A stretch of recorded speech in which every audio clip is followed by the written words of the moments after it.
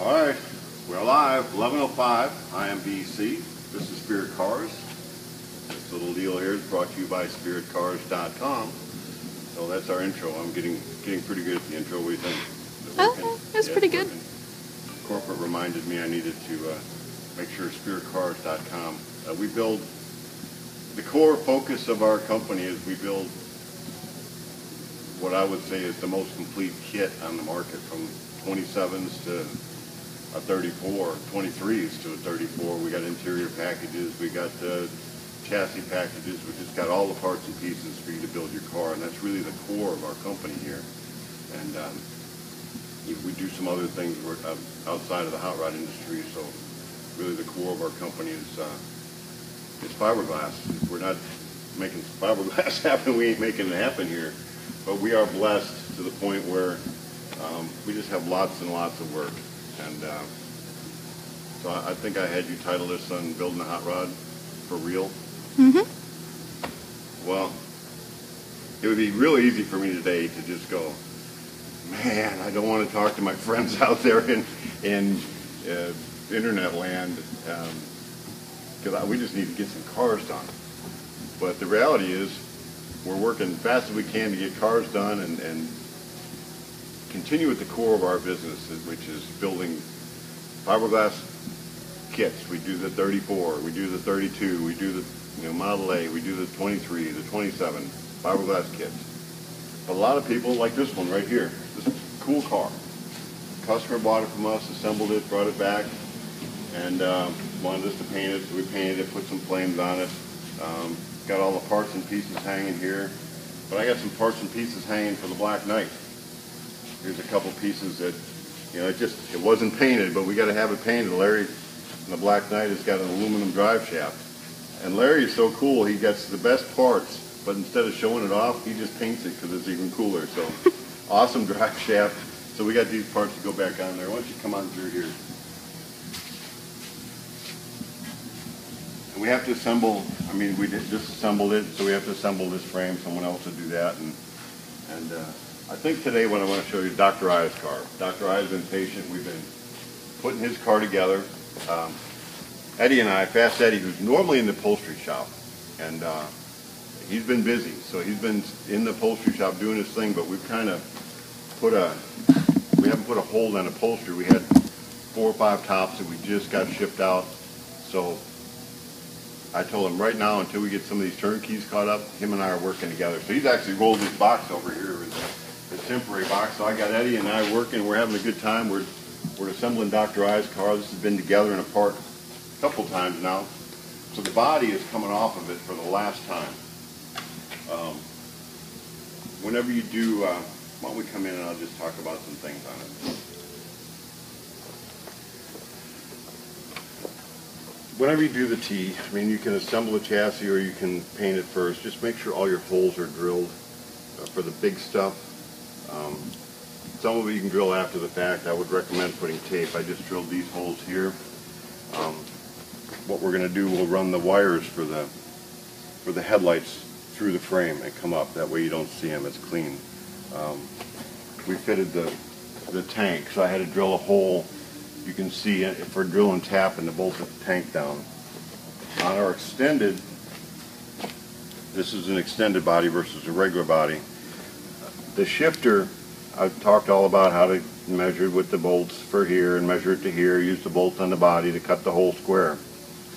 Well, on the extended body, this is going to hit just a little bit on the floor, and then this, the way Lokar makes it, they've got this side, it's got this extended piece for a, a parking brake if you wanted to use one.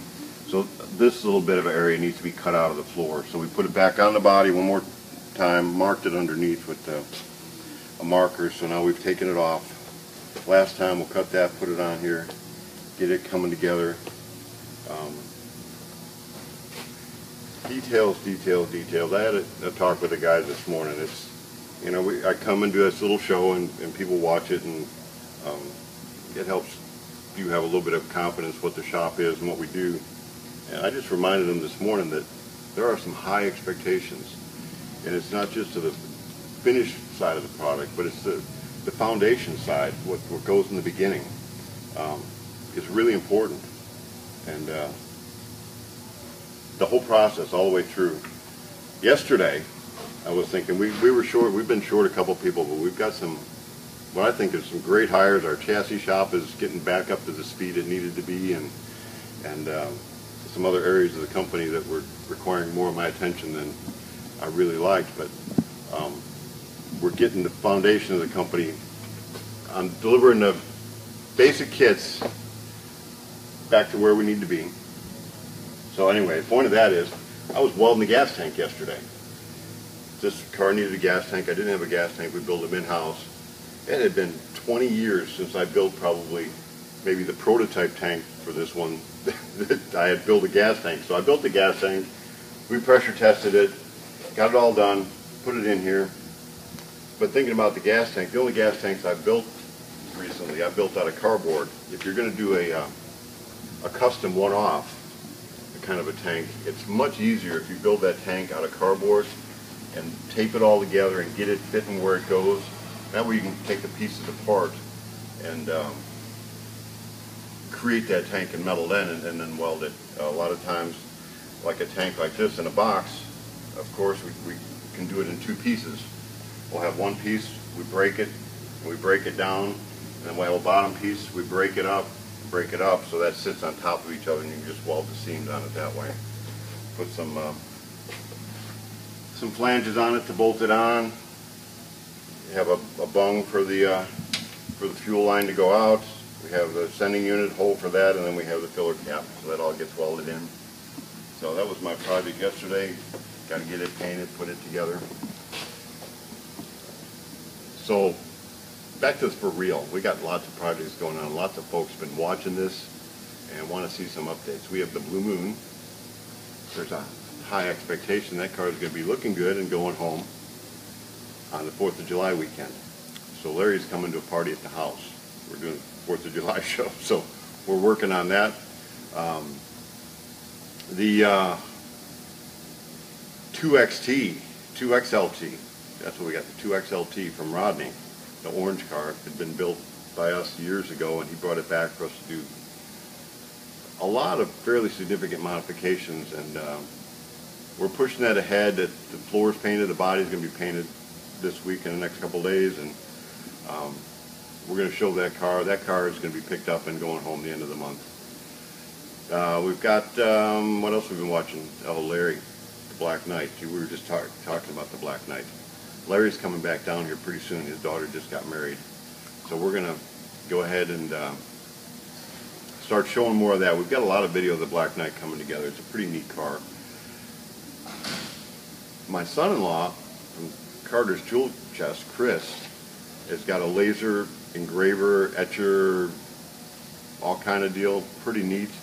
Uh, so we're doing about 30 pieces on that car. We're putting an emblem on Black Knight, uh, putting a logo with a, a knight helmet. We're having a couple of uh, jousting knights on the front of it. I think we're going to do a video of that. That's pretty cool. When we do that, a lot of people might be interested in getting that done to their cars. What other projects we got going on? Oh man, we got a sedan that we haven't even showed yet with a flathead in it. Um, Josh has been busy. He just walked in. I'm, I'm looking at him, but you can't. Turn around quick and show him. Here he is. Look at that. He's, okay. he's got some headphones Look, on it's now. Josh. Say hi. Uh, do we have any questions? Yes. What method works best for bleeding brakes? What method works best for bleeding brakes is, I don't see it, but anyway, I take a bottle, and we're fixing to bleed the brakes on this. That's a good question. I take a bottle, and I put a hose in it with a tube coming out, and then I'll just take on the bleeder, right here in the bleeder, open the bleeder up, put that tube onto it, and I've got a bottle full of fluid. So then I just pump it, and then you're, instead of just running fluid on the ground, you're putting air and sucking it back and forth, back and forth. Remember to bleed your master cylinder before you put it, uh, bench bleed it, or you can do it on the car here like that and just run it over. Um, sometimes I mean, you just got to get the air out. You just got to get the air out. Pump, pump, do, test it. Sometimes you'll have a little more air in there, do it again. But uh, I definitely like the uh, the method with the bottle. We also have the pump that you can go through and it works, but I'm just, I'm not a big fan of it, so when I bleed the brakes, that's how I do it. Any other questions? Any other projects? We got lots of projects. Talked to Dr. Ray yesterday. He's been real busy, so it looks like we're still going ahead with, if you've seen that video, he's doing kind of a, a Grabowski, I wouldn't call it a tribute car, but something that inspired car. That he's from uh, Hawaii and does a lot of work in uh, Los Angeles. Um, he's a designer, a garden architect designer of, of that kind of stuff now. And uh, so anyway, he wants to show that car at the, LA's most beautiful roadster show. So we're trying to build a car that would at least be that quality. And you said you got a couple more people coming for turnkeys Yes. today. Somebody from Tyler, Texas, coming up maybe, or Tomorrow.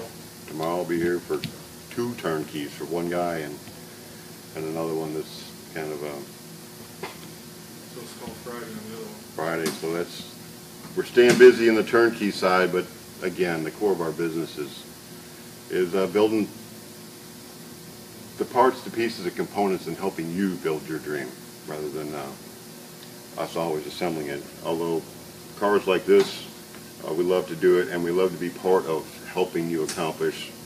You know, the, the choices on this car, the choices on on uh, on any of the cars are yours. They're not our choices. So really, it's your car, whether we actually physically paint it or not, and, or put it together or not. I mean, that is our goal. So we're building hot rods for real. Building the gas tank yesterday. I don't know, did I say this or I may have thought it in my mind? No, but I will. You stop me if I'm repeating myself. I'm getting old. I had suspenders yesterday. I may start wearing. I had some old. I had new pants that were too big, and they were falling down. So Corey, our pinstriper dude, who works in the fire department too, had some fireman suspenders. I put them on. Man, now I can wear them pants again. That's awesome. So Weren't they red? they were red. They were fireman suspenders. I maybe my new image. I'll get rid of my black hat when I go to the shows and wear my suspenders. but when we started doing this, I'm welding the gas tank thinking, my goodness, we didn't have no tools, and I didn't have any money to buy parts. I mean, we started it, and I told my kids, I said, I'm gonna build a car, and they just didn't believe me. They're like, no, you go to a store to buy a car. You don't build a car. That's they they were young at the time, and and then as we did start building the first one, it was a 23, and it started looking like a car. They said, "Well, you're building a car." I said, "No, we're not building a car. You can't build a car. You go to the store to buy a build a car to get a car." I said, "I'm building a sign. We're just going to put this out on a pole in front of the building when we're done." So, I still haven't built my sign. We may do that pretty soon, but in the meantime, we've got a lot more tools. We got a parts room full of parts. Um, these are getting easier as we build more. Um, it's just, it's handy to know which bolts go where, what kind of fittings go where, have them on the shelf and, and kind of repeat and do it instead of figuring it out every time. Um, Eddie was saying this morning we were missing a couple of these. Uh, Eddie just put the fuel uh, regulator on here this morning. We're missing a couple of these fittings. Spend 45 minutes or an hour looking for a fitting, and then you have to go to O'Reilly or whatever parts store you deal with to get the right fitting. That's just part of it. Not to be uh, frustrated over doing that, but it, you know, in our situation, we've got to be a little more efficient with having the right stuff here and, and moving it ahead at all times. So there's kind of an update. It's I'm just being real, being real with y'all today, and for real, I enjoy my job. I get up, we build hot rods. A little stressed over time frames, but we really try to focus on just get it right. Don't get impatient. Don't get in a hurry if you're building your car at home. Don't get frustrated if you don't have the part. It'll be somewhere. That's part of it. Find it, figure it out, make it happen. I told Stephanie yesterday, make it happen. And I She did. She did. You did a good job. She did. She did what I was asking her to do. She was running into some problems, and I just I didn't have time to deal with it. I walked away and said, just make that happen. So, we uh, are you showing my goats now on the internet? You Yes. make it happen. Okay, so you made that happen. So, ah, pass it on. I'm going to give you something to pass on today. Buddy of mine, Hot Rod Man Ernie, wrote this book. I don't know why I'm thumbing through. They're all like be random. Tell me when to stop? You need here. Yeah, yeah, det var Okay, here. Here we go, and it's perfect for today, so that's why I was coming around, we needed the right one. The best way to solve a problem is not to view it as a problem. View them as challenges.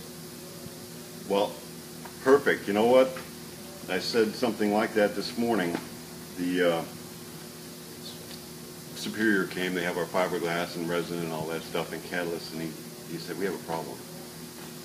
Said, we don't deal with problems here, we just have solutions. That's all we have here is solutions, no problems. But we didn't get catalyst today, so not a problem, we'll have a, a solution for that. So, today's Wednesday, week's half over. I've got some serious deadlines I gotta get done.